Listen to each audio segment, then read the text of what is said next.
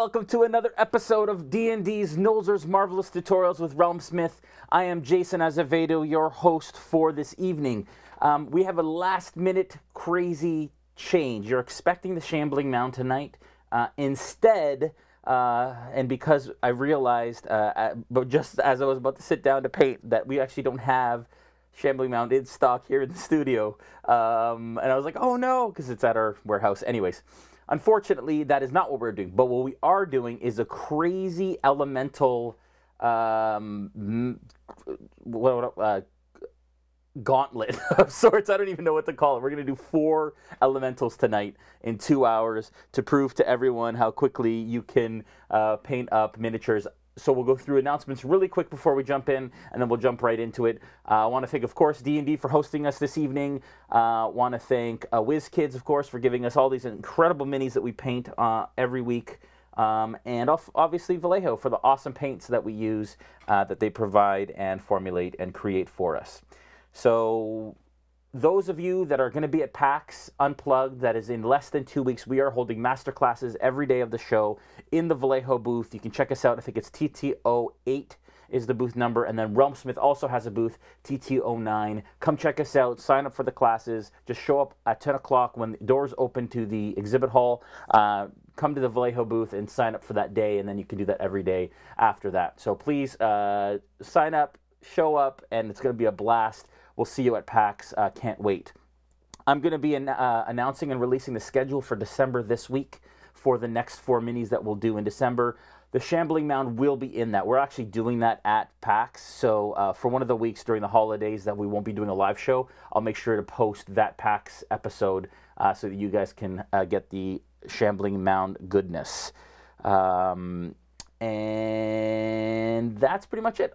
Other than that, obviously, paint nights from WizKids and Vallejo. Check your local stores. Uh, we're doing uh, sponsored paint nights by WizKids and Vallejo uh, across North America following our tutorials. So keep an eye out and an ear out in your local stores because we're uh, rolling out a new one soon. I don't think it's been announced soon uh, or yet, but it will be announced soon. Uh, also, we have some incredible minis coming in the next wave of paint classes and tutorials um, which I won't talk about now because I'm not allowed to. Uh, but uh, stay tuned because Wave 12 is coming, and there's some amazing miniatures um, that I'm not allowed to talk about uh, that are coming in the next wave. Want to say uh, hi to everyone as usual. We are in the chat. If you have questions, comments, inquiries, thoughts, techniques, anything you want to share, please uh, sound off in the chat, and we will go uh, and take care of them and chat along with you. Again, we are live. So I want to say hi to Mikey. I want to say hi to Elisides. Uh, these tutorials are awesome. I'm learning a lot. You're very welcome. Uh, DC Lasser says Wood Mug arrived last week.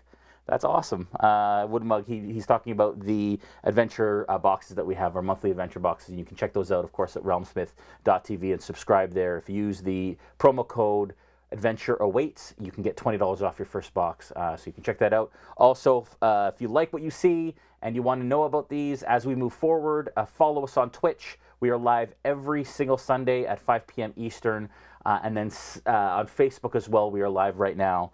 Uh, on our channel at Realm Smith TV. you can also follow us on Instagram at Realm Smith TV and on YouTube because we post all of the VODs um, so you can follow these afterwards. They're all up on YouTube now. I think uh, Tortle is going up tonight, uh, hopefully, and then this one will go up after that, um, as well as the Brass Dragon. So we're just catching up on the last couple weeks, but we have a ton up there. So check that out. Subscribe and like and all of that fun stuff so we can keep you posted on the new videos that we release. All right. Hey, Naroon. Nice to see you too. Let's get right into tools here, folks. Of course, uh, we are going nuts tonight. I know you think I'm crazy. We are doing all four elementals tonight in a two hour span. That will be the earth elemental, the air elemental, the fire, and the water. Of course, we're using Vallejo brushes, a zero, a one, and a two, and a dry brush, as well as a larger brush for some, brush, uh, for some base coating because they are larger miniatures. Uh, some water to uh, dilute your paint as well as wash off your brushes, paper towel for dry brushing and, and uh, cleaning your brush as well as a paint palette for mixing. Now, our paint scheme tonight, not too many. For four miniatures, we're only using 13 paints. Uh, for the water elemental, we're going to use a mix of green ink and blue ink, much like we did in our Kraken tutorial. and then we're going to use snow at the edge of the for a wave effect. Uh, blue wash and pale gray wash and dead white is going to be used for the air elemental. Red ink, orange fire, and bloody red for the fire elemental. And then, of course, for the earth elemental, finally, we're using a base of heavy brown, building up from there with khaki, stonewall gray, and then a wash of umber gray. All right, here it is the gauntlet of elementals. We have the air, the earth, the fire, and the water. We're going to try and get them all done in the next two hours. Um, keep your fingers crossed, and let's hope we can make that happen. I think I think we can. I think we can get through this. Um, also, uh, the Monsters Manual has all this awesome secondary lighting uh, on some of these uh, miniatures. Oh, sorry, some of these illustrations. If you can see that they're um, an object source lighting, even on the cloud uh, and stuff. We aren't going to necessarily get into that. These are kind of basic techniques. Um, but uh, and I wish we could. We're just going to follow the base color scheme of all of these from the monster manual and get them all done tonight. Um, where should we start, folks? Let's see. I think we're going to start. We're going to do the earth last because we want to batch coat the base on the fire and the air, which also have kind of stone bases as well. We're getting a blue tinge from my cool blue lighting. Woo! But you can see these awesome clear effects on some of these miniatures are accentuated by that blue light behind it. Really cool. Um, all right, let us start on fire. That's where I'm going to start because I'm in a fiery mood today on a Sunday. Um, the air elemental, I'm using washes instead of inks on that, mostly because it's a bit more opaque. It's supposed to be kind of like cloudy, um, and uh, I just want to make sure that we capture that. So, starting off, and these inks and washes take a long time to dry, and it reminds me that I have my fan in the other room uh, I may have to get that, but we'll see. See how the batch painting goes across all of them. We're going to take some yellow ink and put it into our palette here. Now, yellow ink we're going to use as an all-over base coat on this fire elemental.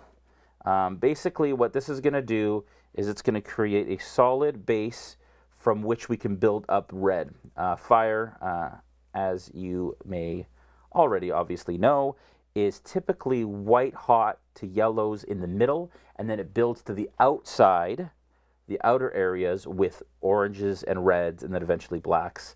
Um, we're not going to go all the way to black because we want it to feel really hot, uh, and we're not doing kind of a magma effect. This is a fire elemental, not a magma elemental.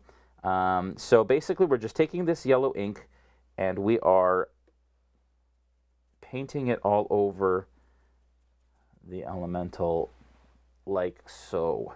Uh, we're going to do front and back all the way around. Don't worry about the base because we're going to paint over that after. Um, and inks, I'll show you the, the inks as opposed to washes are designed to uh, tint a surface instead of provide shadow um, like washes do. Inks are also a bit less opaque than washes are. And so if you don't want to cover anything, um, then an ink or, or, obscure kind of a clear effect, then my uh, assumption or recommendation always is to use an ink because it's not going to, it's still going to look see-through um, as opposed to a wash, which will matte down your, your, your surface or create a matte kind of finish on your surface as well as um, as well as make it a bit more opaque. So, and inks shouldn't do that, but that's what we did there. So that is the yellow all over our wonderful fire elemental. We are going to let that dry. The beauty of batch painting and painting all of these at the same time is we can move on to the next one right away. Now these inks really uh, get onto your brush, so we want to make sure that we get most of that off there. I'm going to leave the air elemental a little later because that's uh, going to be the more difficult one. I'm actually testing for the first time ever this pale gray uh, wash that we have from Vallejo. Uh, it's kind of an interesting wash. It goes on gray into the into the recesses. So instead of a dark color, it's a bit of a mid-tone. So, but I wanted a cloudy effect, so I think that's going to be cool. Um, as well as a blue wash on that as well uh, is kind of the plan. You know what? I'm going to do it now. Why not? Jump right in. No fear. Elemental Gauntlet, here we come. Now, as I said, uh, washes are going to make your miniature a bit more opaque. It's not going to be as see-through for the clear for the clear effects, but that's okay for this because I actually want it to feel a little cloudy uh, in the recesses here. I want it to be a little bit see-through, but I also want it to feel like a cloud, which is why eventually we will highlight it with a, this is working really nicely actually. We will highlight it with some dead white as well. Question, Phoenix Wolf King says, Hey Jason, I have a question. What is your favorite elemental and plane in D&D? My favorite elemental is the fire elemental and my favorite plane is the Beastlands. Uh, Tactical Terry says, aren't all the Nolzur's miniatures clear under the primer? No, they're not, actually. Um, as far as I know, they're not clear. Some of them are, so the ones with clear effects are clear resin under the, uh, or clear plastic under it, but not all of them are, actually. Good question, Terry. Uh, and back to Phoenix Wolf King. My favorite elemental right now, um, we're featuring an Earth elemental in an upcoming adventure box. Uh, so I kind of fell in love with the Earth elemental recently for that reason, um, just because we were writing him into our adventure. So I'd say right now, the Earth Elemental, especially because I think it's a really cool. I don't want to give any spoilers to our adventure, uh, but the Earth Elemental can do something called Earth Glide, and it can morph in and out of stone. So imagine you're on a mountain and you're fighting an Earth Elemental, and it pop it's popping in and out of the surface of the mountain to attack. It's pretty cool. Anyway, so that is the gray wash. I'm going to cover that blue light behind me here. Um, but that actually is really nice. It's gone into all the recesses. It's added a little bit of depth in there, but it hasn't made it completely opaque. You can still see the blue light comes through it, but that actually had a cool, a cool effect here. I'm actually pretty happy with that. It's made it a little gray, uh, but not completely opaque, which is good. Okay, next. Now, as I mentioned before, we're going to use the same technique we used on the Kraken uh, that we painted in a tutorial a couple, a number of episodes ago. That is the earth, not the water. Uh, we are going to start with uh, green at the bottom, I believe we did, and then blue at the top. Uh, I think that's what we did. Um, I should probably know, but it's been a little while. Uh, I am going to grab the Kraken. One second, please. I'll be right back. Let me just jump back here into the office. And I'm going to grab the one of the tentacles from the Kraken here so we can take a look at what we did here. As well as my fan, which will come in handy. Say hi to Bruno the tavern dog as I pass and I'm back. All right. Okay, so. All right, so this is one of the tentacles from the uh, Kraken that we did a number of episodes ago. Um, and actually, I wish I had brought some water effects because water effects would be really great on this afterwards. I would use a gloss varnish or water effects to make it really kind of glossy and wet looking. So it looks like, yeah, I think I've kind of mixed it in and I did blue near the top and green near the bottom. I think that's what we're going to do. Blue near the top, green near the bottom, mix it all together, blend it nicely. I think that is going to be the method we use here today. All right, so um, we'll get some green ink. Now again, inks are intended to uh, allow a miniature to still be transparent and not opaque. You'll get a little bit of opaqueness, but not a lot. A lot less than washes. So we're going to use a mixture of green and blue here a bit, closer to the bottom. And then we're going to go blue as we go up to the top. Now we may need a couple coats of this, but we will see. Now I'm kind of mixing in and out of this blue and green. Um, I do want that kind of um, I, I want that effect where it looks like it's transitioning from blue to green, but I also don't want it to be a really clean cut line. I want it to be as um, gradual as possible. So then I'm going to dip more into the blue near the top. Now, my ink is pretty, um, this miniature, it is pretty kind of uh, bubbly, I guess, as it goes on. But those bubbles will pop and settle as it dries. So you don't have to worry about that. Uh, I, I just wouldn't agitate it too much. I'm doing it over here just so I'm not getting it too much on my monster manual here. Um, I always get yelled at for doing that on stream. Um, but basically, I am moving around, moving in and out of the blue and green, mixing it in, taking a bit more green on some of the strokes, or a bit more blue in the other ones, kind of mixing it all in the middle, and just covering the whole thing in a mixture of blues and greens as I go. I am going to come back in here with the, uh, it's, we'll see when it dries. Uh, with the Kraken, I have to do two coats of the inks just because it wasn't quite as, there wasn't quite as much coverage as I'd hoped, but maybe on this one it'll be a little different. Trying not to touch the areas I've painted here, but it's hard. Okay, there we go. That is a blue-green elemental wave. Now it is a little hard to see his mouth in here and his face, which I didn't really think about. Um, but that might be okay. Uh, maybe we come in there and we fill that in a bit heavier than the rest uh, with our second with our second coat. So, okay, we can let that dry. Base coats are done on the fire, air, and water. Again, um, yes, easy AK, sorry. I know I said Shambling Mound, realized that we actually don't have any Shambling Mounds in stock here in the studio. I went searching for one. I was like, no, I actually don't have the miniature I need. We will have a Shambling Mound next month. Um, I apologize for that, so just look out for the uh, schedule and we'll we'll we'll announce when that will be. Um, but uh, for tonight instead, we're doing the Gauntlet of Elementals, um, which is going to be nuts. We're doing all four elementals within the two-hour span.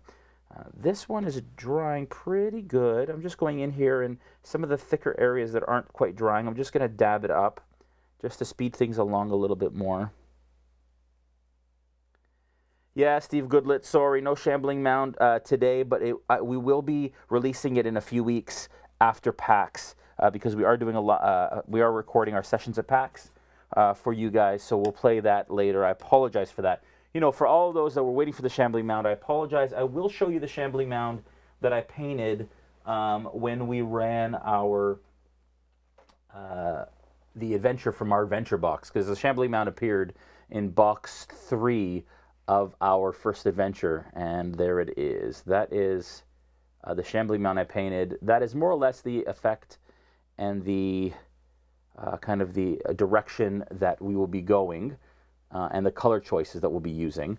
Uh, I did you add little grass tufts on there as well to um, kind of accentuate the earthy feel, but that is the Shambling Mound. Apologize, folks, that we're not doing it tonight.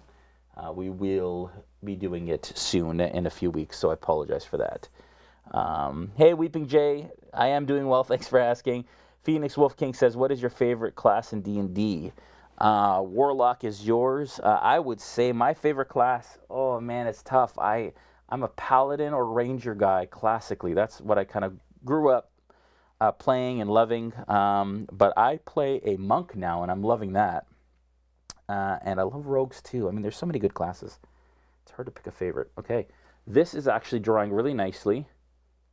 Uh, I used a pale, pale gray wash on that, and it actually turned out okay. All right, so we've base coated those. I don't think I want to do base coats anymore on that stuff because I'm going to actually now go on to the earth elemental. This is going to take the longest to base coat because it's a solid base coat. It's the only solid one, really, fully solid uh, miniature we're doing. We're using heavy brown from the extra opaque line uh, for the game color. Uh, with Vallejo, and basically what these are, these are base paints. They are intended or designed to create a base coat in like one in one coat. So we're just going to go through with our large brush, take the heavy brown and just get in there. Really work it through, work it in, and provide a nice solid base coat from which we can work. Um, the back of the box on the WizKids is kind of a brown color for the pretty uh, saturated brown color that they decided to use for the elemental. Um, in the monster manual, it's kind of a mix of that. It's like a shale sort of light gray and, and with brown undertones. Uh, that's the way that we're going to go. Uh, oh, no. It's all good. Fixed. Um, yeah, we're going to go for the same sort of thing. We're going to use a heavy brown undertone, but then we're going to work up to Stonewall Gray, which is kind of has a brown undertone as well, but it is more of a gray color, and hopefully we'll kind of capture both color palettes with a bit of the warmth and a bit of the cool all in one. So as usual, I'm diluting this just a touch, but this is the heavy brown from Vallejo Game Color Extra Opaque line.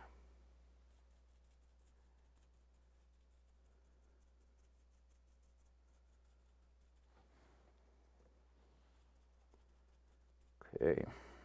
How are we doing for time here? 5:30.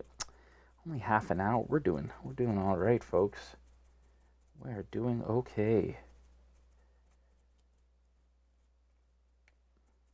I chose to do all four in one just because um, inks are quite quick to paint with. If you're if you're painting a spell effect or something or an elemental where you want most of it to be, you know, um, semi-transparent or transparent, uh, then inks are a really quick, quick way to do it. And four out of the, or I should say, three out of the four are, um, three out of the four are uh, semi-transparent or semi-opaque. Mostly semi-transparent because I guess they're closer to transparent than opaque, but whatever. Uh, this is difficult, I will say, to get into the recesses. Uh, these WizKids minis uh, have really deep, deep cuts in their. Um, what I mean by that is their detail is really deep, which is great. It's great for washes, it's great for detail, uh, and it's great for painting. But uh, you just really need to jam a brush that you don't care too much about um, into those deep recesses to make sure that you get decent coverage for a base coat. Anyone who's joining us uh, that is coming uh, just now. I know D&D just tweeted us out. Uh, just so you guys know, uh, we are not doing the Shambling Mound tonight. It was a, a quick change in plans um, when we realized we didn't have a Shambling Mound in stock. Last minute, I thought I had one, um, but I didn't, and it's at our warehouse currently. So um, we are instead doing all four elementals from Wave 11 of the D&D Nolzur's Marvelous miniatures by WizKids. Um, and this is exciting. This is, I think it's a wave that is out in stores. I think it just came out. Uh, ah, yes, box four. Steve Steve Goodlet said it was in box four. Steve is one of our subscribers. Thanks, Steve, for the reminder. We are going to do the whole body this color with a heavy brown, and then we're also going to do the base on this, and we're also actually going to do the base on all of them with this heavy brown. And, uh, you know, I also wanted to demonstrate kind of batch painting. It's a great way to get through a bunch of miniatures in a short amount of time. If you're painting a bunch of similar uh, miniatures with similar colors, then you can do the same color across multiple miniatures, and then you're saving, uh, you know, paint change time and drying time and things like that, um, which kind of help with getting things done a bit more quickly and get through a large amount of armies. Uh, that's a typical technique that's used, especially with um, like war games that have armies or multiple units. For D and D, it's great when you have, say, a bunch of giant rats that you have to paint, um, or or something like that, where you're, you're just batch painting everything.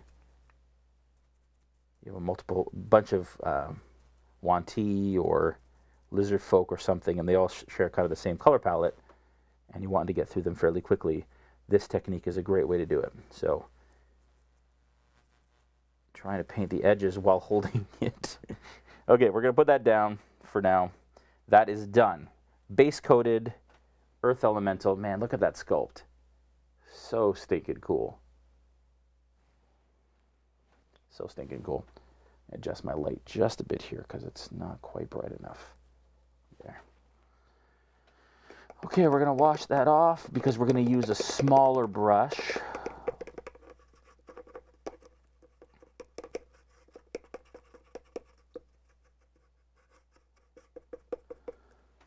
And also, folks, you can use these same techniques in um, in spell effects. So any miniatures that have like a spell effect um, built into the mini uh, for the WizKid stuff, you can you can use that same this same effect for that. It's a great way to do um, any sort of sorcerer or wizard or anything, druid or bard, anything like that that would have a spell effect in the miniature. Uh, using inks like this in this uh, format, even multiple colors, is a great technique for getting that done. Uh, let's see. Should have brought a bit of a larger brush for this, but that's okay. I'm going to grab my Air Elemental, which has a base coat of that gray, that pale gray wash, which you can see. Uh, and I am going to continue to base coat the base with that heavy brown. We have it out already, so instead of wasting paint and switching paints and coming back to it later, we're just going to do it now. We obviously want to be really careful that we are not getting this heavy brown onto the clear effects that we just base coated because then they'll go opaque and they'll it's kind of counterintuitive or against the, purpose of, of having that so um, you know typically maybe you might want to do the bases different colors but the chances of seeing all these elementals in the same place at one time is probably uh, rare or unlikely. So, um, unless you're fighting like an elemental mage of some sort, archmage, and he summons a bunch of different elementals, I guess that's possible. I guess anything's possible in DD, really. But yeah, I'm just going around base coating all the bases in heavy brown.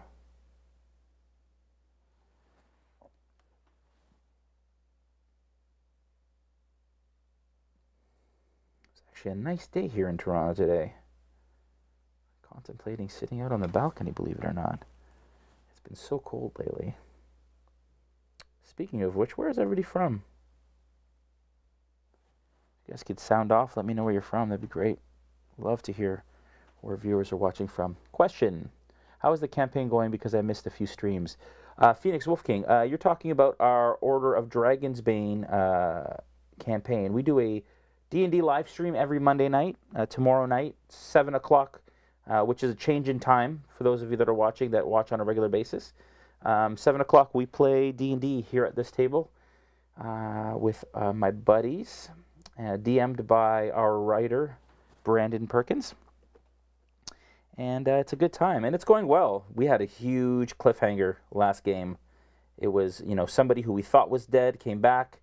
Spoiler warning um, uh, I won't say who for those of you that are, are, are catching up or, or watching uh, back episodes, but came back and shocked us. And uh, one of our party members had to do something he didn't want to do. Um, that was like like campaign altering. It's really exciting and really fun. So we're continuing that tomorrow night. You guys can tune in on Twitch and on YouTube and on Facebook. Actually, we're live on all three platforms for our live streams. All right, so that is a base coated air elemental. Once that's dry, we're basically just going to go in there and we're going to uh, basically going to that's bad. It's really bad. That's the thing, folks. Is you want to watch tutorials, you got to put up with dad jokes. We're going to wash it with an umber wash after we've base coated it with a heavy brown. Now for this uh, fire elemental, I would have loved to do kind of um, reflected OSL lighting, object source lighting on the base would have been cool, kind of like a reflected firelight on the stone. If we have time, maybe we can do that if we get through this quicker than anticipated, which would be crazy if we did. If we were early on all four, that'd be nuts. But we're just going to base these uh, almost in the same colors as the elemental. I may not go up to stonewall gray. I might just do heavy brown with an umber wash and then just dry brush with khaki and call it done. I don't like to put too much attention into my bases because I don't like them taking away attention from the actual from the actual miniature itself. Again, I'm being careful not to paint the clear effects that we just base coated with the yellow ink because we want those to remain transparent and not opaque like the base.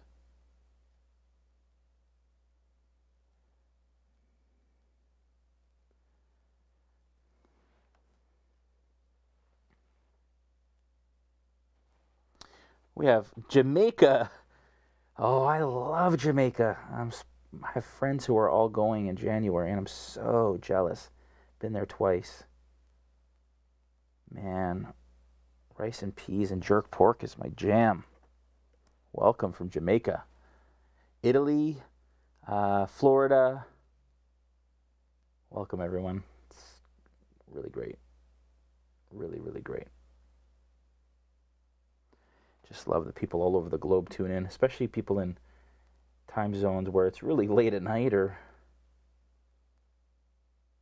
it's always so uh, such a blessing. I'm honored folks that you tune in. So thank you. Thank you for tuning in. Now, once I've base coated this, we'll probably move on. We usually do a little bit of story time where we talk about the monsters, and people seem to like that. We talk about the stats. I like to, I'm a purist, I've mentioned in, in episodes prior. I like to paint them the same as they appear in the monster manual, um, just because um, I like to stay true to the subject matter you can paint these however you, you see fit or apply your own techniques and your own colors, your own color schemes. Um, but uh, but I like to stay pretty true to it. So in that in that same vein, I like to read about all of the stats. Maybe we'll glance at them real quick here in between coats.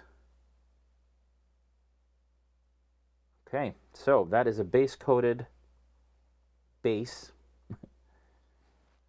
for the fire elemental. Now, let's wash that off. Let that sit. I'm going to go back to my water elemental here, and I'm just going to. Did I call that one a water elemental? That was a that was a fire elemental. I don't know if I said fire or water. I'm just going to go back here, and I've noticed that the ink is starting to pool in a lot of the recesses a bit too much. We don't want that because then it's going to obscure detail and it's going to look a little weird. Uh, and we don't want it to be opaque. So um, I'm just going to go through any areas where it's really pooling and just spread that out. It's, all, it's also going to take a long time to dry if there's massive pools. So I'm just going through and touching up all of these kind of deep, deep, deep recesses that have too much ink in them. Although I do want this deep recess in the mouth so that it's a lot more obviously a mouth. Um, and maybe we'll maybe we'll even highlight the mouth area with some dead white after as well, just to kind of give it a bit more. Just to give it a bit more um, delineation. Okay, so we've got this really cool yellow fire elemental right now we're going to continue on with him. Uh, we are going to start with orange. I had to use orange fire. Uh, we're going to start with orange fire. Ohio. Easy AK, were you at Origins? Because we come to Origins every year, and we do Knowles. We did Nolzur's live at Origins last year. So I'd love to know if you were there with us.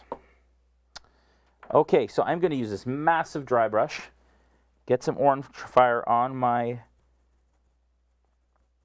on my brush here. Now, again, with dry brushing, the key with dry brushing is that you want to load your brush and then wipe most with paint and then wipe most of it off on a paper towel.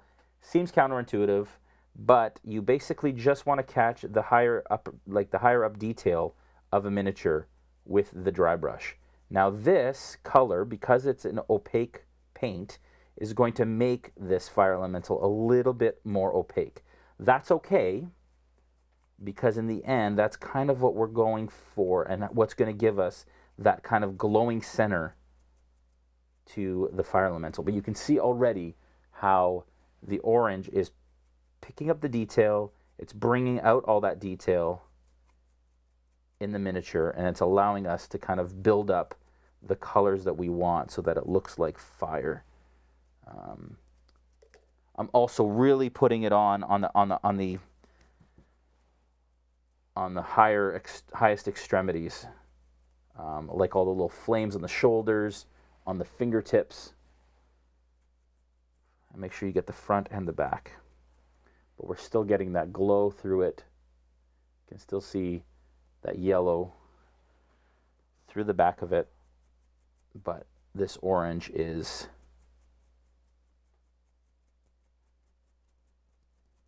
doing its work doing the job we want it to.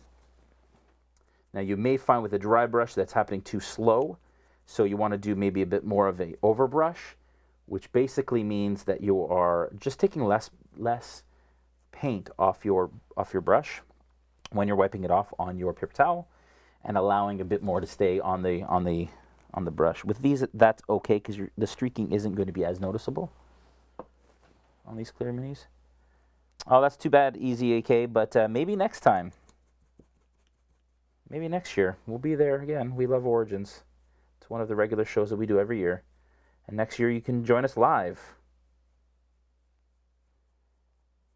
Paint a miniature with us. It's so much fun. I'm looking so forward to PAX and seeing everyone again. Well, that's it. It's already starting to look super fiery. This is an all, all over kind of overbrush slash dry brush of this fire elemental. Um, thinking about it now, I should have probably done this overbrush after I did the wash because then, in that case, we could have done that effect that we want on the ground. Um, but I did wipe off some of the brown here because it wasn't quite dry, so I'm just going to go back in and touch up the base a little bit where I was touching it.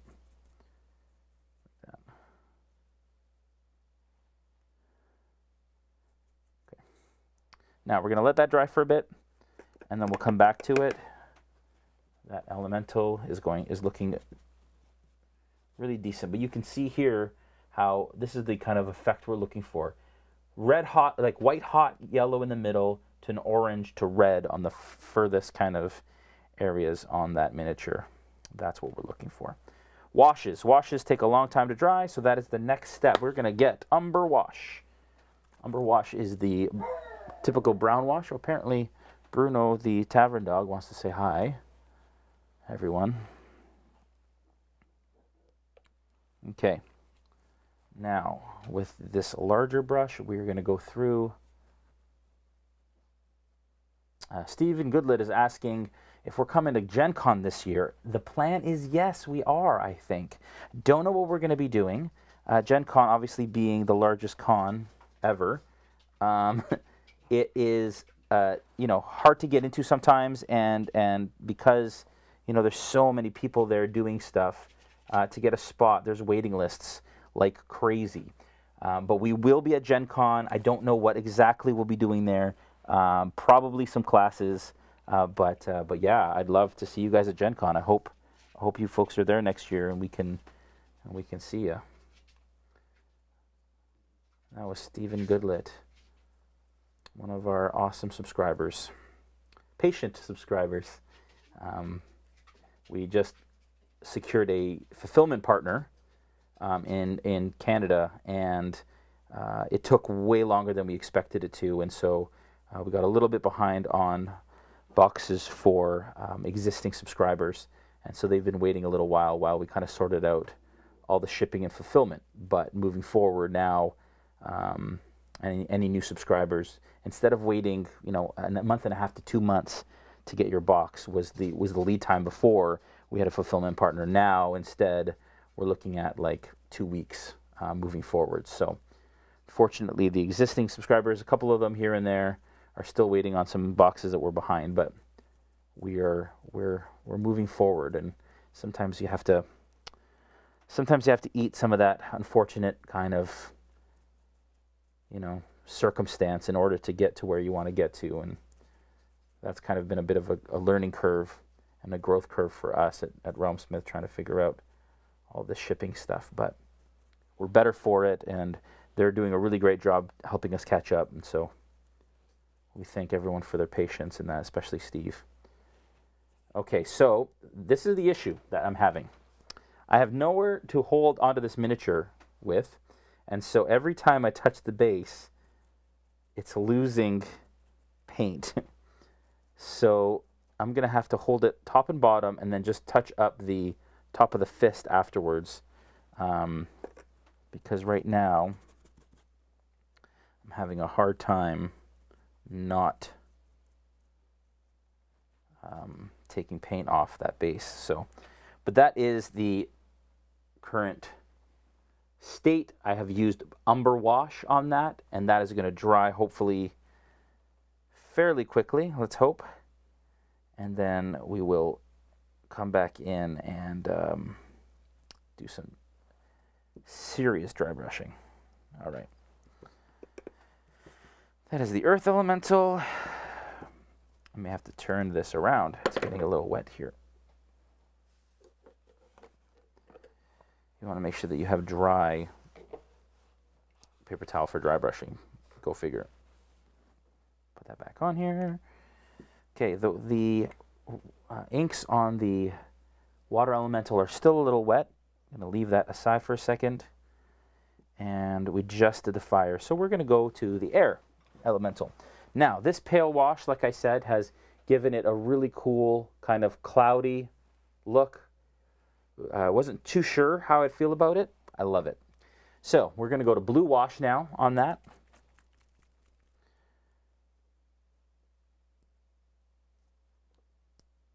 Awesome, Steve. I'd love to see you at Gen Con.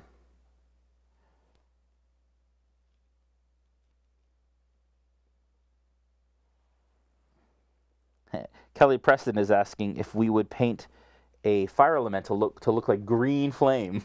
And for those of you that watch Acquisitions Inc. Uh, know uh, what that's all about. Uh, I would, sure, why not, right? Whatever, whatever you, whatever you want, whatever works for your campaign and with your story.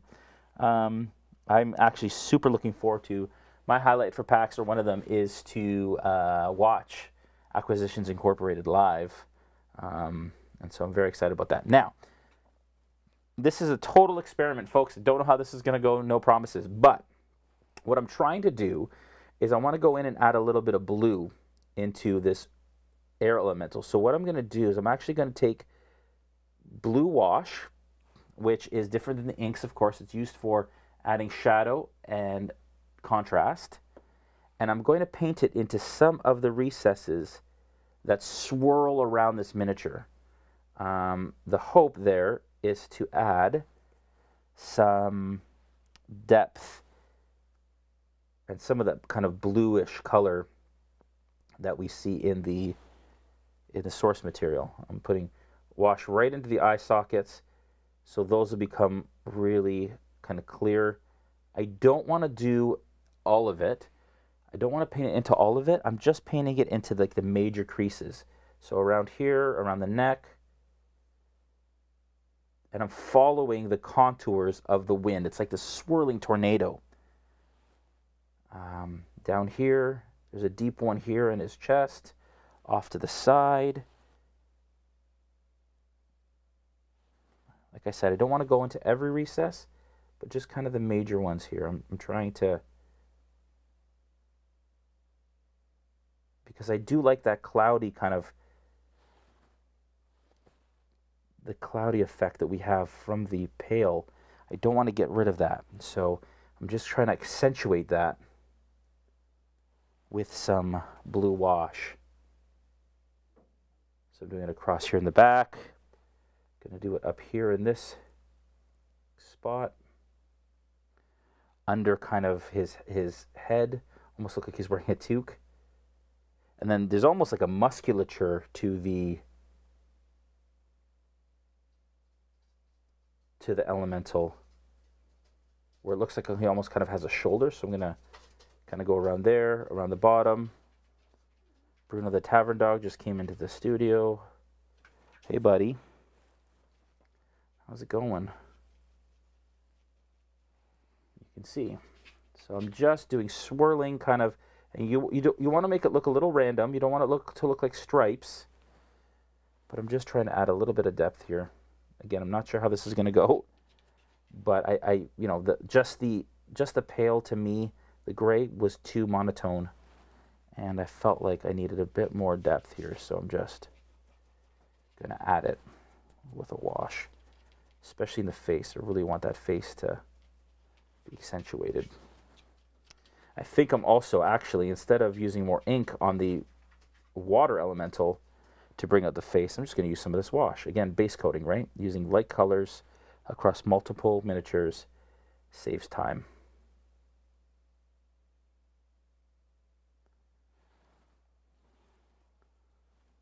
Love these. These sculpts are so cool.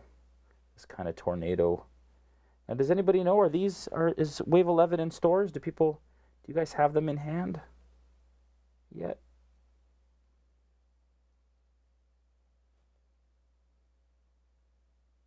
There. It's progress so far.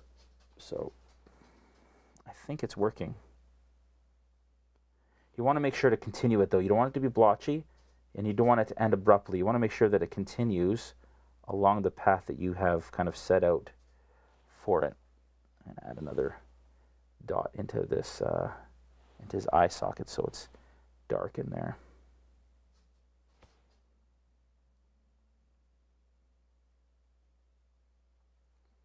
There. Taking some of the paint off the base again here too. It's difficult when you have to hold onto the base in order to paint the miniature.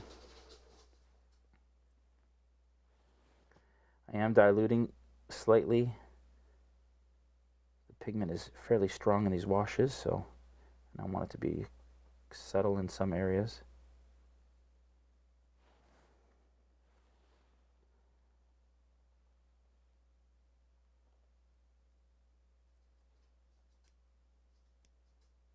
There. Okay. There we go. Now, I don't have any on the head, so I'm going to add a little bit on, on the head here and some of it, but I don't want to add too much. I do want the, the head to look like the top of a cloud sort of thing.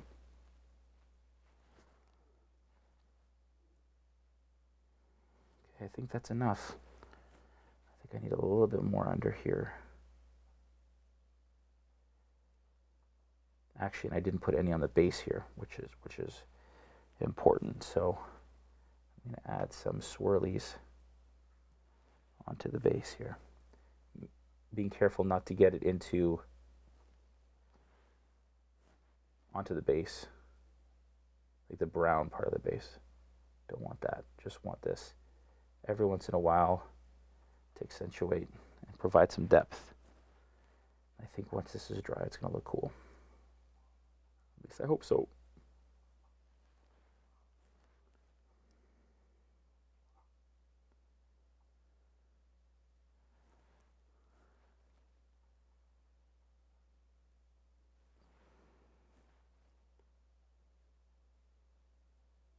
Okay.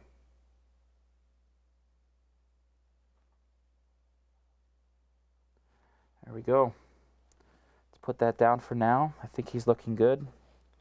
Uh, actually, I might add a little bit of a watered down wash on the top of the head just because it is looking a little out of place. So I just added a little bit of a watered down wash up there.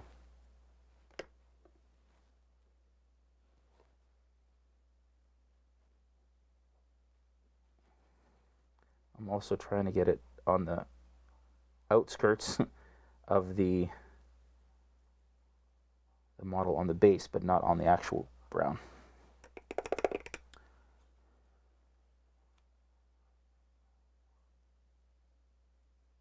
Wolfgang asks, "What is your favorite elemental base monster in D and D?" Um, what do you mean by base? Not quite sure. Uh, Kentucky, we have Steve's from Kentucky. Um, elementals. So let's take a look here, folks, at what we're looking at. Challenge five for all of them, um, right across the board. They obviously have certain resistances and abilities based on their element. You're so cool.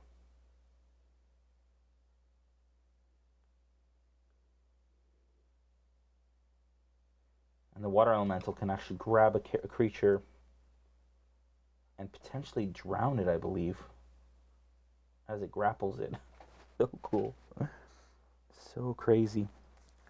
Yeah, we could have added some purple ink to this as well, this air elemental, but we didn't this time around. I always do that, realize things. Okay, so now I'm going to take some of this blue wash onto this water elemental and add it to the eyes and to the mouth here. Just to kind of accentuate the eyes and the mouth shape.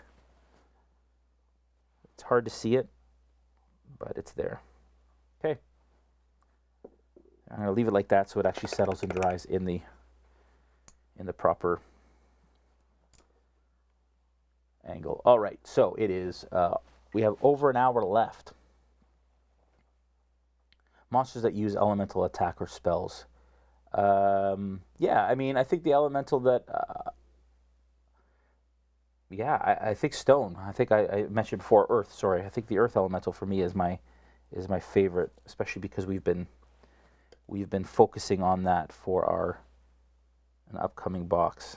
So, again, no spoilers for Steve Goodlet.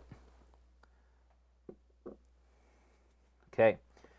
These are going to take a bit to dry. I am now going to add, actually, now that we're still here with the Umber Wash, I'm actually going to use the Umber Wash on the bases for the others. So let's do that. Grab the air elemental I just did, and now I'm going to take this wash right up to the transparent plastic of the miniature base, but not onto that plastic. This, this will add some delineation. You can see how it's really um, kind of separating the miniature from its base. So we don't want to get it on the actual uh, transparent, but we want to get it right up to it so you're getting it in the recess there.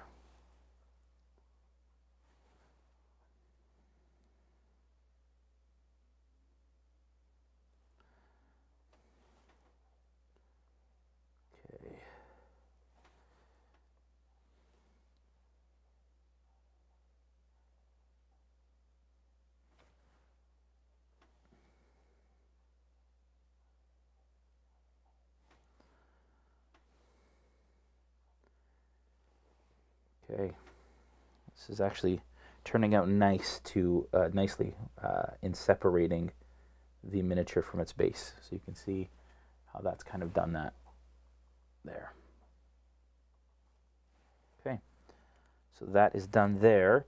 Then we're going to do the same on the fire right before we complete the dry brushing because I do want to get a little bit of glow onto this base from the fire, which is obviously emitting a light. I would love to like modify or like um, enhance. It's not really kit bashing, but I'd love to modify this miniature so that I can get like a tea light or an LED, sorry, at least, um, into into the bottom of it so that it glows like one of those tea lights that flicker and get a flickering light in the base of this fire elemental. Would be so cool. That's what I want it to do. These miniatures are just so cool. Okay. There, that worked. Again, Wash is doing its job of separating miniature from its base. Wash is still wet on this earth elemental, but you can see that it's also doing its job very effectively.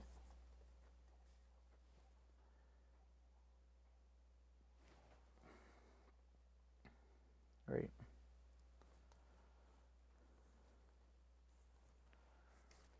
Ah, okay.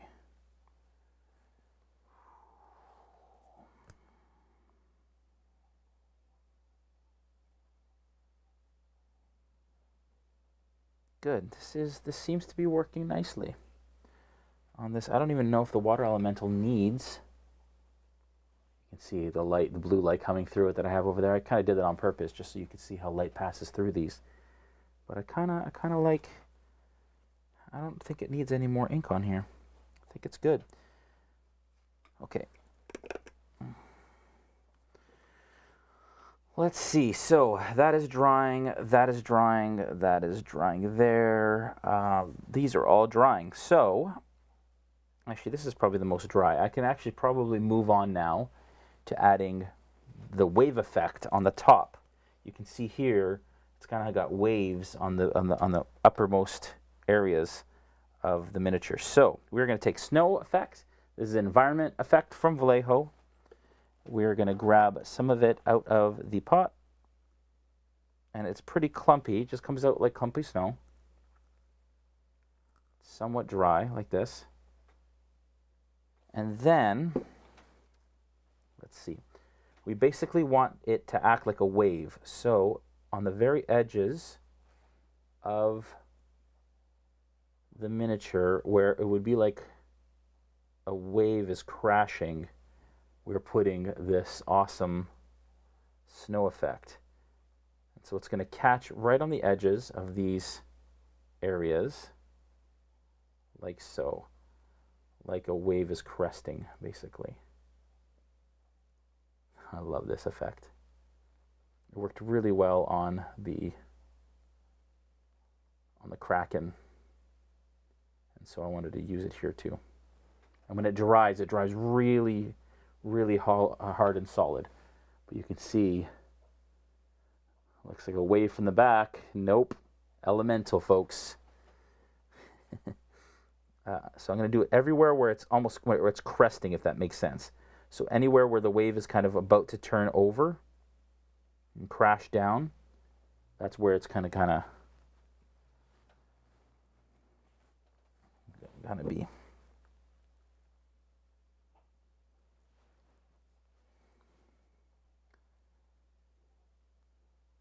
Oh, that was a lot. There we go. You just got to kind of work it around. I put it on and then I move it into the, the position that I want. Like that. And then here they're cresting as well, kind of on the back. So I'm going a little bit on the back here. But again, only on the highest areas where it looks like it would be the tip of the wave. The crest of the wave. Like that along the back here as well.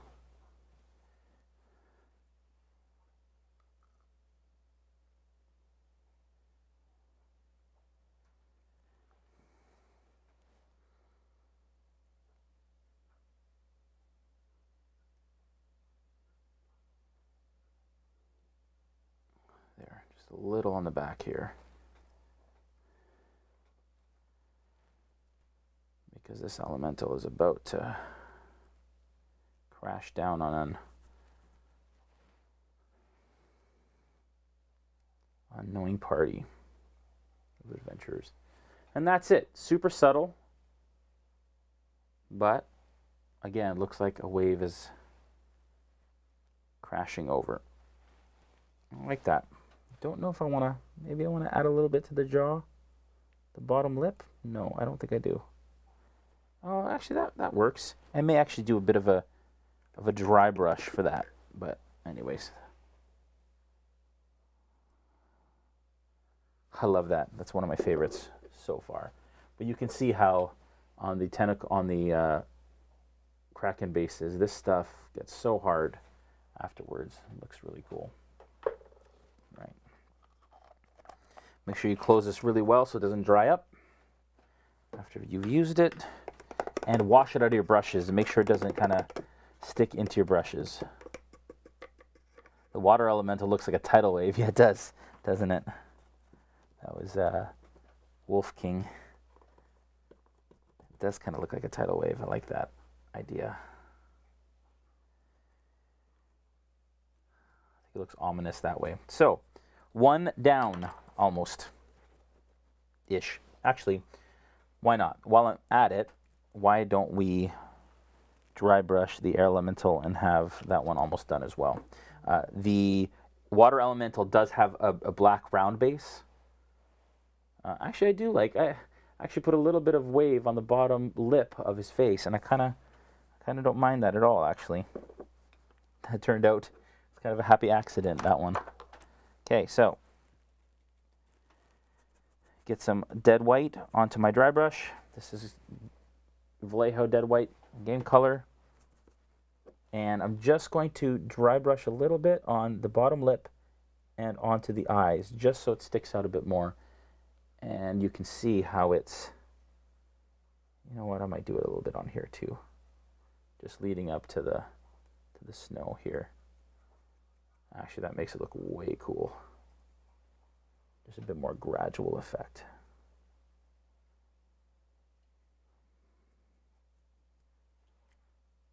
Yeah, that's cool.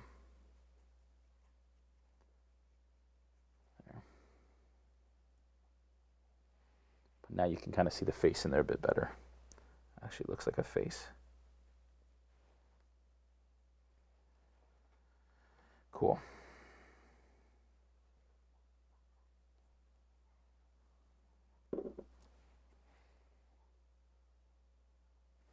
So cool. All right. Um, now, with the air elemental, now the wash isn't dry in the face, so I got to be careful in the eyes because I want to make sure that they stay. And the wash is actually not dry in some of the recesses too. So I'm actually just going to wash my brush for a sec, not let it dry on there, put it down, and then I'm going to use my trusty fan.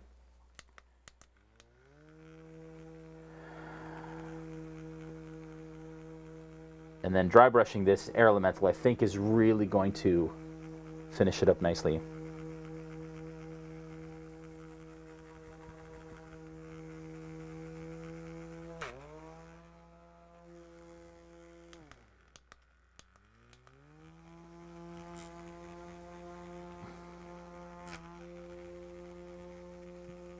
All right, let's take a look here at some of the stats. Air Elemental, the special attacks for me are the coolest. So we've got the slam attack. So it makes two slam attacks. Um,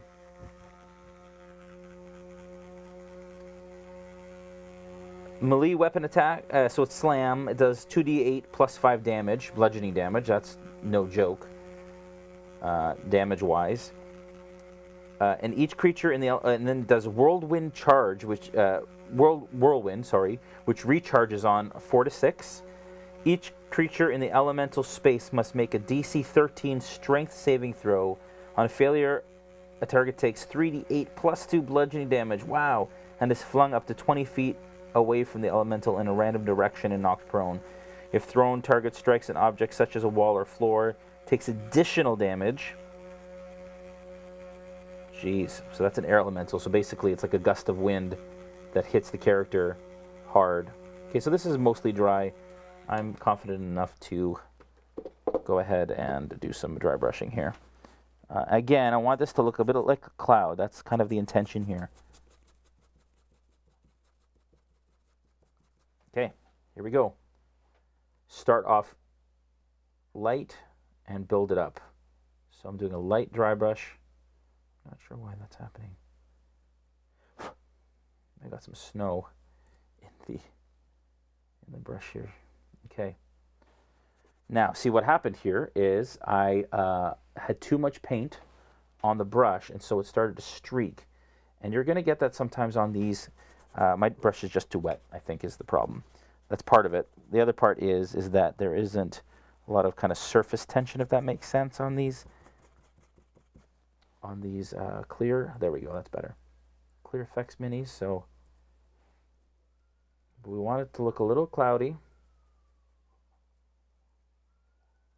want to bring out the features in the face.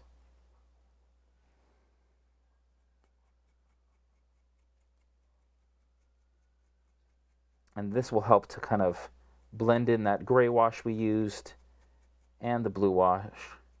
Now we could have not maybe not used that pale gray if we didn't want to. We could have just gone directly from a blue wash all over to white. But I think that the mix of the pale pale gray wash and the blue wash is actually giving it a cool random sort of pattern. I think. I like that a lot. And still, you can see if I place it in front of the light, it still is semi opaque and transparent. So you're still getting light that shines through it, which you want, obviously, with an air elemental. Clouds aren't kind of, they don't have to be fully opaque, but it's not really a cloud as much, it's more air elemental, but in the source material, it looks like a cloud. It's hard to kind of do air, so here we go. That might be it, folks. That might be good for air. Uh, except for the base. I do need to dry brush the detail on the base. So, but looking good. There we go. That looks cool. That worked out.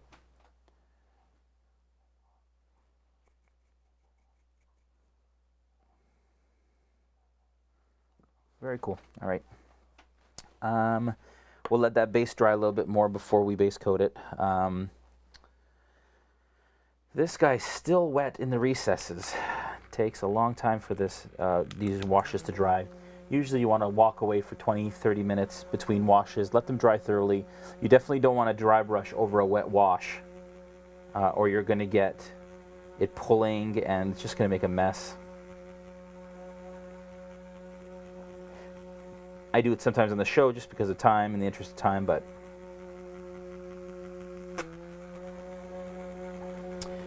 All right, Earth Elemental. Earth Glide is its special uh, ability. The elemental can burrow through non magical, unworked earth and stone. Love that. Um, while doing so, the elemental doesn't disturb the material. Like I said, it's so cool. I imagine as it's fighting, it kind of morphs into the stone, then moves under the, the adventures and comes up on the other side. Just such a cool visual. And cool uh, tactic.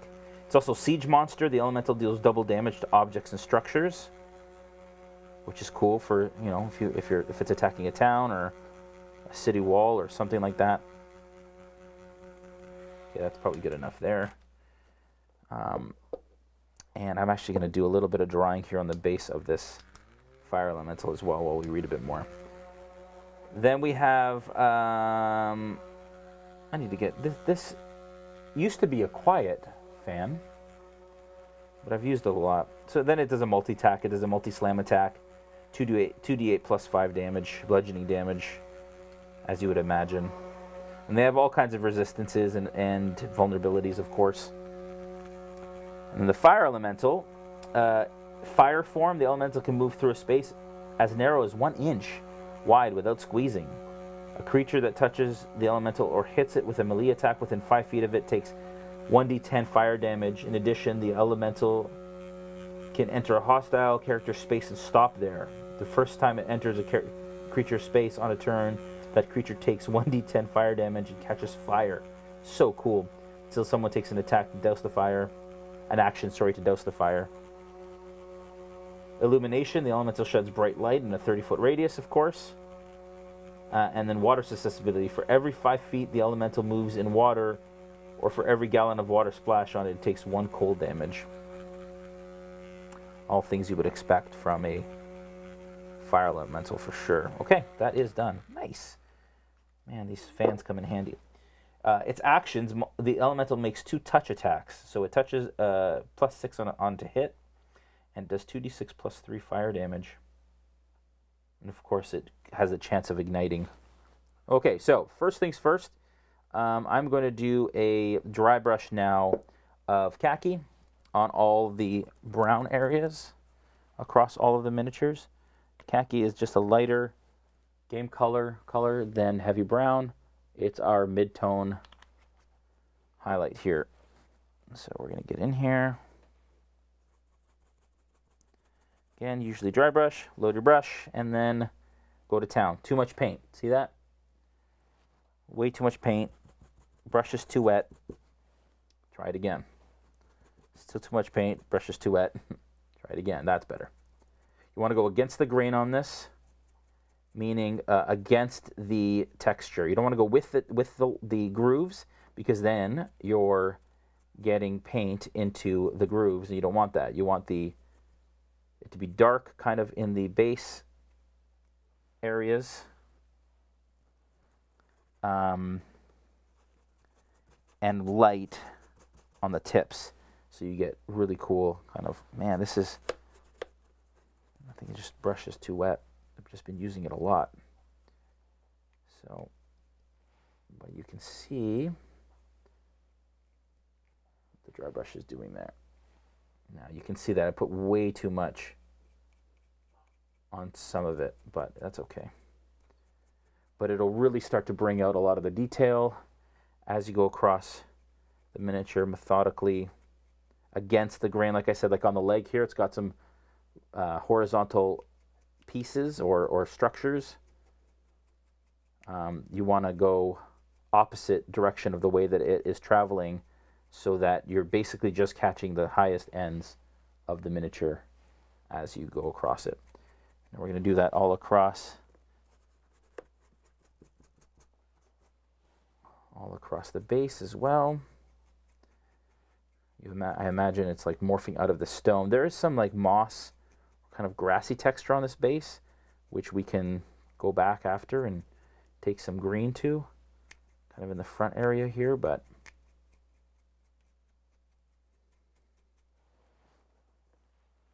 I think this khaki is a good good choice here. And this miniature is perfect, of course, for dry brushing.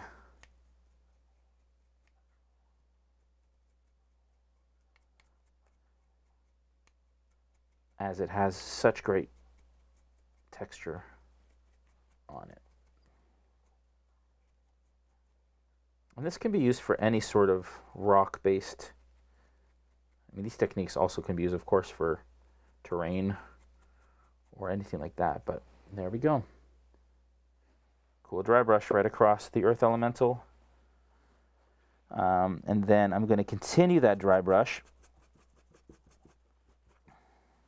on the base of the other monster, of the other elementals. But I'm going to stop here. I'm not going to do the additional Stonewall Gray, and I'm being careful not to dry brush onto the clear effects either, but you're getting a cool stone effect on the bottom. That's what I wanted. And then also on the fire one, but I'm just do I'm just getting this done before I get the dry brushing, the rest of the dry brushing down the fire because I want it to look, I want to add that kind of glowy if glowing effect.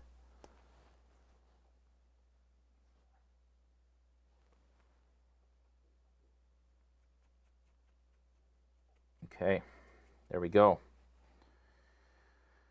The base is complete pretty much on those. Um, now, I keep, I have to turn this over a little bit because I am running out of dry paper towel. So I want to really dry this dry brush.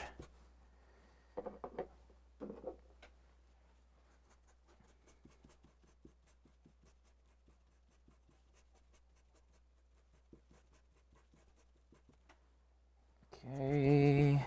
All right, so that is pretty dry now. Basically, what we're going to do now is we're going to focus on the bloody red to finish up this fire elemental. Um,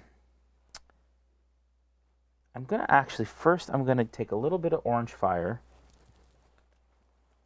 because I didn't do it last time because the, the base wasn't done. I'm just going to take a little bit of orange fire here and dry brush a little bit onto the base what that's going to do, it's going to give us a little bit of a reflected glow from the fire onto the stonework. Obviously, the fire elemental will emit light, and so we're just getting a little bit of this reflected color onto the base, which looks cool. And then I'm not even going to worry about cleaning my brush really after that orange fire before I get into this blood red, bloody red. Bloody red, of course, is from the game color line. Okay, here we go. Now, this will be the kind of the last highlight, which is weird because it's kind of opposite highlight from for the fire. And we're carefully going to paint this. Now, we're being a lot more intentional about where we put this red. I don't want it to obscure the orange or the blue. Doing it mostly on kind of the highest points on the miniature, focusing on kind of the fingertips so you really see them coming through like that. On the face, so you can see the detail in the face. But this should just be the tips of the fire.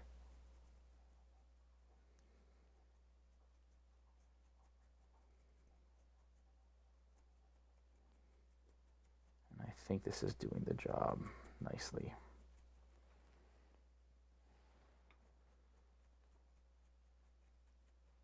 You can do multiple um, layers, obviously, of dry brushing for this.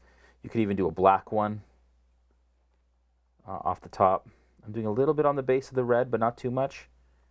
The orange is actually better because it looks lighter. This is a darker color, so it will obscure it. You don't want that.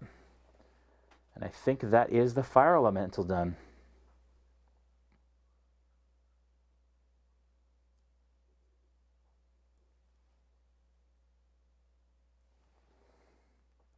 I would like the the eyes to glow a bit more. If I had like a like a yellow paint, I would um, accentuate. I don't have yellow here. I could maybe use orange fire. I might do that. Just paint it in the recess so that those eyes really look like they're glowing. Um, glowing red. Let's see.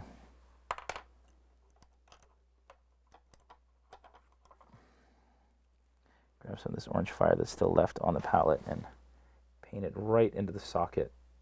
Yeah. That's cool. I mean, I would use a moon yellow after that, I think to give it even more. But the deepest areas should feel like they're really glowing. That's not too bad. I might paint a little bit in here as well. But oh, that really got bright for a second. That's cool.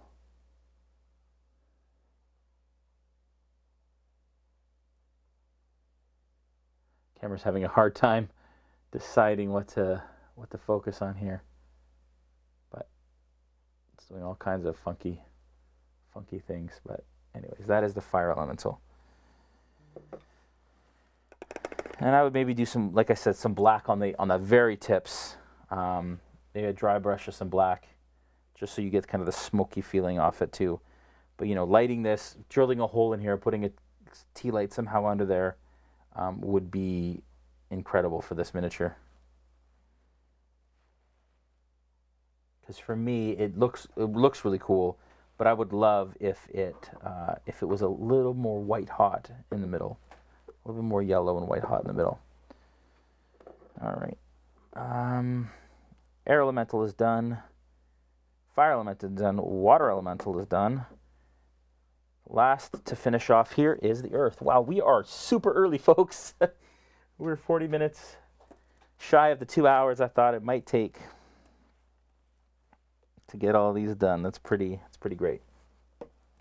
We done good. All right. Now, really need to get the red out of this brush before I use it. And need to make sure it's super dry before I use it as well.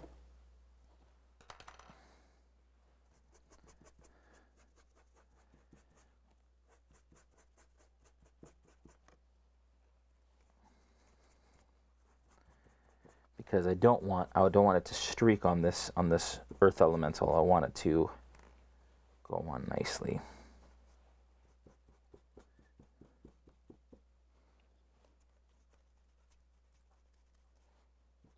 Hey Melinda, it's been a long time. Nice to see you. Welcome.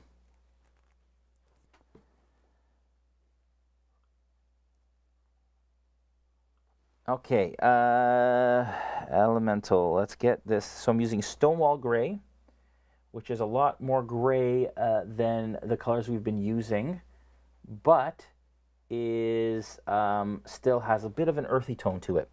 So the reason I'm using Stonewall Gray is because I'm trying to get this kind of shale sort of feel. So I'm going to focus on the highest areas of this um, of this earth elemental, basically imagining where it would, the light would hit the most. So we're going to go on the top here, on all these kind of flanges he has coming off the top. There, face. Now his eyes, he has eyes in here, but in the, uh, in the source material, they're not glowing or anything. They're just kind of deep sockets. So we're going to stay true to that face. We're going to grab the knee here. On this side as well, if we can. Hands, knuckles. That's pretty much for the front, I think. I don't think we're going to do much more. We'll grab some of the base as well, obviously, like that. And then on the back, we want to grab the ankles, the buttocks area, around the edge of the base. Don't necessarily want to get under these flanges, but we want to get the elbows and the shoulders like that.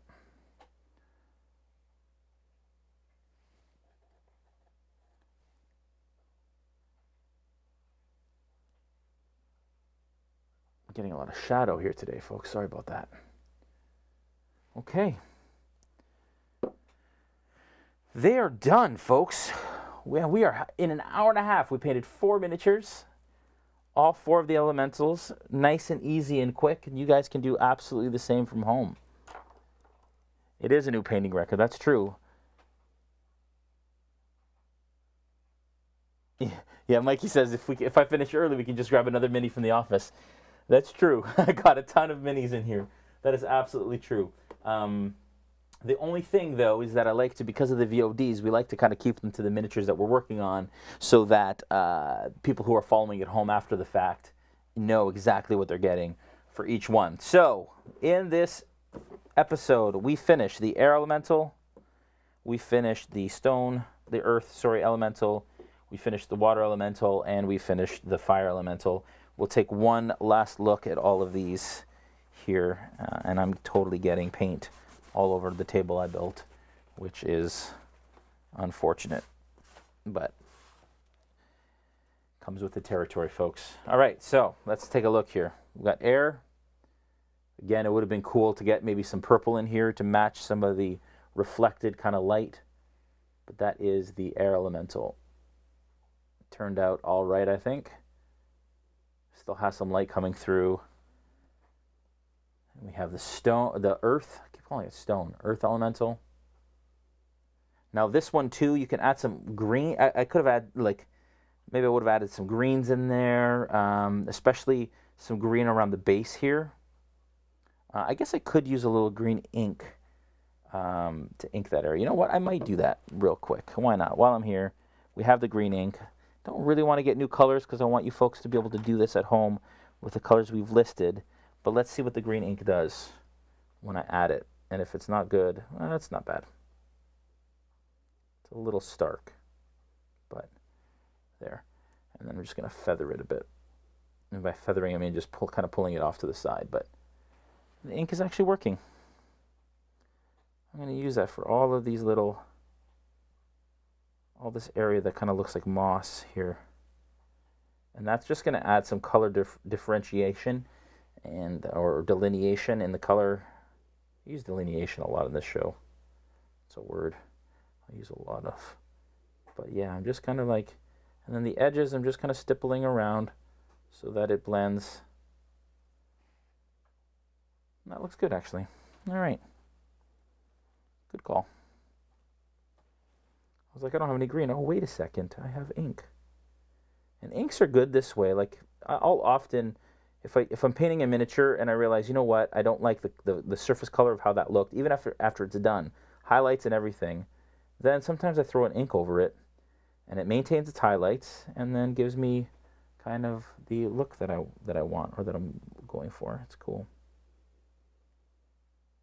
I might add a little bit here and there. There you go.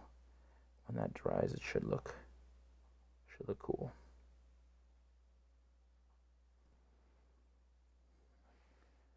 We go. Just so it's not all brown. Gives it a bit more interest there. I don't think he has any of that on his body. I think he's all earth. But there. So that is the earth elemental.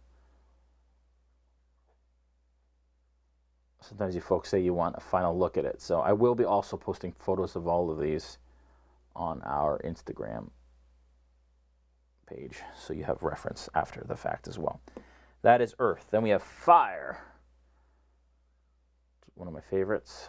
Uh, again, if I had a darker red, would have been cool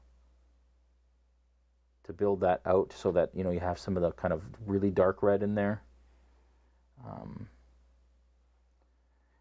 like if I had my heavy red maybe, or even a charred brown would work for that. But that is the fire elemental. And then finally water.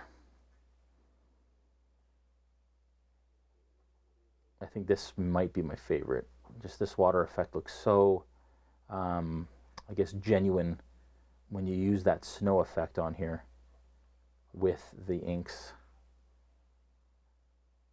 Looks like a real wave. And a little face in there. That's them. Thank you, folks, for tuning in. Uh, four miniatures in an hour and a half, not too less than an hour and a half, not too bad. So Again, folks, you can do this at home with the colors that I've provided. Uh, we will be uploading the VODs. I'm going to try and upload the last three maybe tonight if possible. Um, so you all have all of the VODs that you want um, and can access, which would be awesome. Uh, again, PAX Unplugged, be sure to uh, come and check us out. Say hi if you're at PAX. Uh, I'd love to be able to greet you guys and paint with you and all of that stuff. So definitely make sure that you head to the exhibit hall at 10 a.m. if you're there to sign up for the class uh, in order to get in because they sell out really super quickly. So you want to make sure that you get in early enough so that uh, you don't miss out. Uh, and then also we have the Realmsmith booth where we'll be doing um, demos of our adventure boxes there as well. And uh, you can pick up a subscription there as well as Vallejo product that we'll be selling in our booth. So be sure to check that out as well. Melinda says, I know, right? I know. It's been a long time. I'm so glad that you're here, uh, Melinda. Um, want to thank our partners, of course, D&D for hosting us tonight, uh, WizKids as well for uh, the Incredible Minis, and then Vallejo for their awesome paints that we use on a regular basis. Uh, make sure that if you like what you saw tonight, make sure that you follow us on Twitch uh, so you know when we go live. Uh, head over to YouTube. We have all of our VODs in a in a a playlist there that you can access. I think we're on episode 22, so there's 22 miniatures.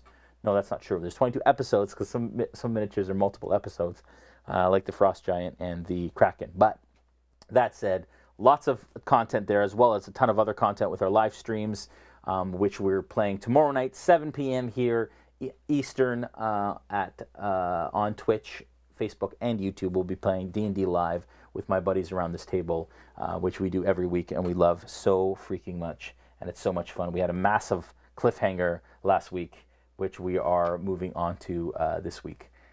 Uh, thank you so much, everyone. And you can find us on Instagram at Realmsmith TV and, of course, Facebook as well at Realmsmith TV. You folks have an incredible week. Uh, we'll see you tomorrow night, and then we don't know what we're going to be painting come next Sunday.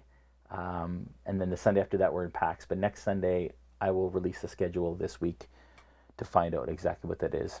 Have a good one, guys. You guys have a good night.